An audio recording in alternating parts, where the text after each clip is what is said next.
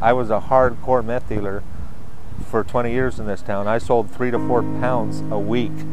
That's a lot. That's 50,000 bucks a week. And I've been to prison nine times, three different countries, three different states. I got 57 felony convictions. I'm not proud of it at all, but I'm not ashamed of it because it made me who I am today. HIV Alliance program, it's a needle exchange program, and what it does is, you know, from selling meth for so long, I would see people share needles that were hard up that wanted to do their dope right then and use old needles.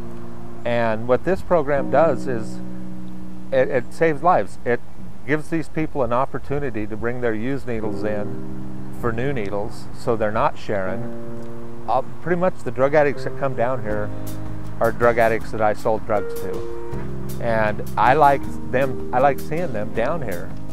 And they know it's a safe haven to come here and there's no hassle and they can get fresh, clean needles every single time. Um, as an adult, if you're not ready to quit, you're not going to period. But at least we can offer a clean, safe environment to where until they are ready to quit, they're doing it safely.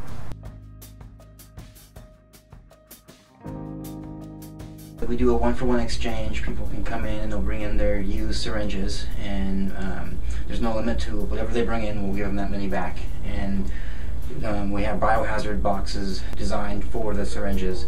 And once they fill up, we take them to the hospital and they burn the whole container full of the syringes. One, one thing about needle exchange is all the studies out there have shown the same thing, and the result is it does not increase drug use, and it actually increases access to social services. A lot of people ask for help for getting to the next change and whatever their goal is. And so um, I see tons of people wanting detox, wanting treatment, and a lot of times they don't have, they would have known about that if, if, if we weren't there. The retirement package on being a meth dealer is not a good one. You die or you end up in prison for the rest of your life. They really taught me on how many lives I was destroying, and it really got to me. And I'm just, I want to give back. And today I'm just a, I'm a helper. That's all I want to do is see people change their lives. Because if I can do it, anybody can do it.